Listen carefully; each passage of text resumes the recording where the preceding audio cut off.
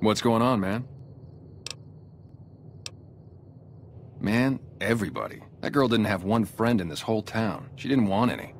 She wanted to sit in her room all day and make herself miserable, and she went out of her way to be rude. She upset a lot of people. You wouldn't have liked her either. Believe me, when I heard the news, my first thought was, I owe somebody big. I figured Boone would come around after a while. But he hasn't. I'm starting to think that if he doesn't find her, things will never go back to the way they were. What now? This better be good.